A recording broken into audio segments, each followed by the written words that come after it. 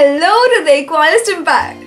So, like in my recent video, I talked about how I'm going to bring about some change and do some other stuff. So, yeah, that's what I'm going to do this week. But I'm still going to start with Hello to the Equalist Empire for every video of mine because I like it. So, yeah, that's that. And uh, what my video this week is going to be about, I think you just probably know by the title, but it's like, uh, you know, when I was going for my Central St. Martin's interview, before that I had not seen any any other person's portfolio like a person who's got selected. I had not seen any of their portfolios and it was scary because I had no idea what I have I am up against. I saw some videos about portfolios of some other people but not so college specific so course specific.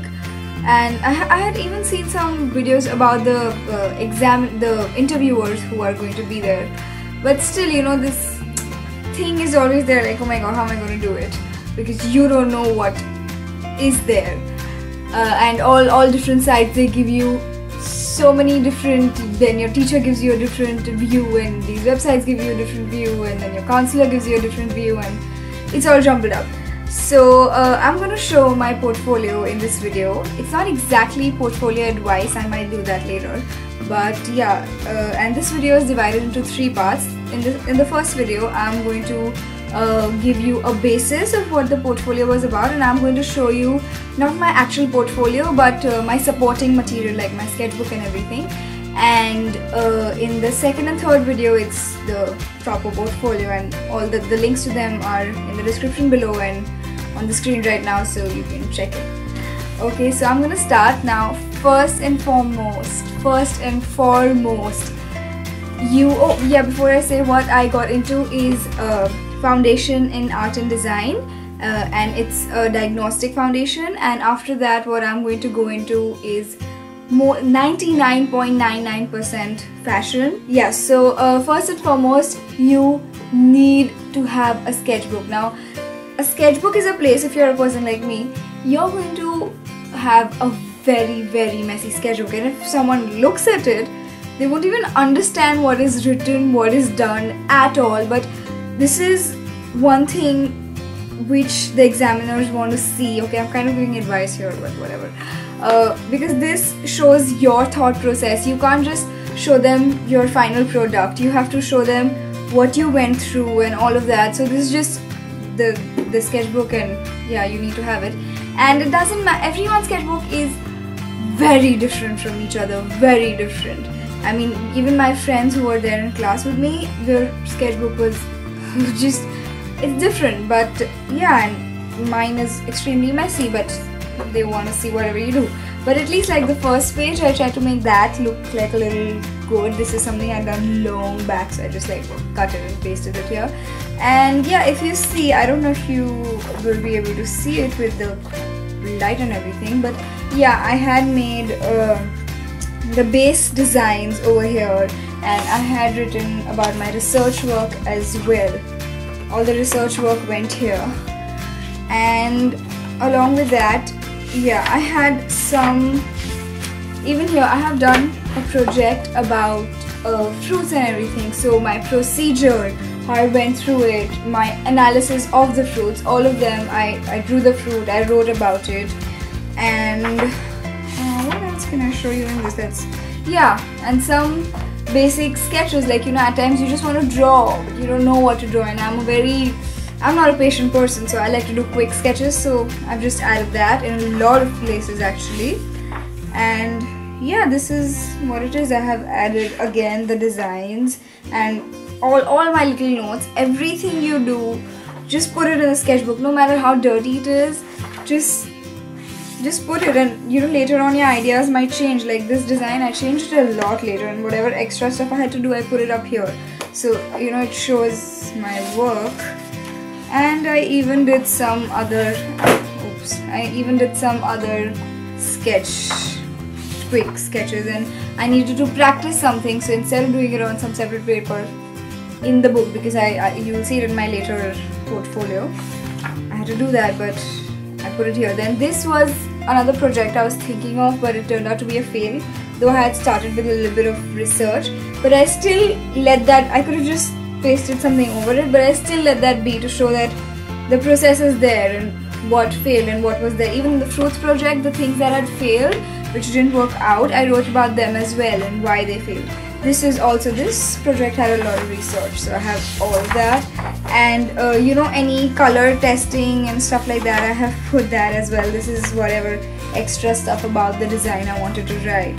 And yeah now this is very little but that's what I can find here. It's just basic um, color testing what I wanted to do. I could have done on a random paper but whatever it is from start to end from your whole thought process put it up in the sketchbook and yeah that's that.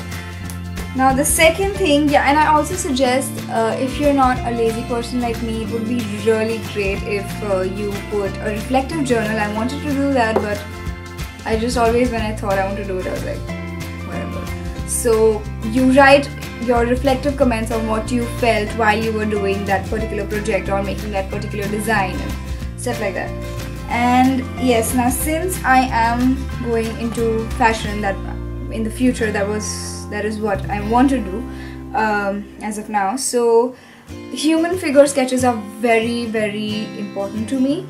And yeah but you know who's gonna pose for me for so long? Who's gonna help me out in that? I need something real to draw it in front of me but you know obviously no one's gonna be there to pose for that long.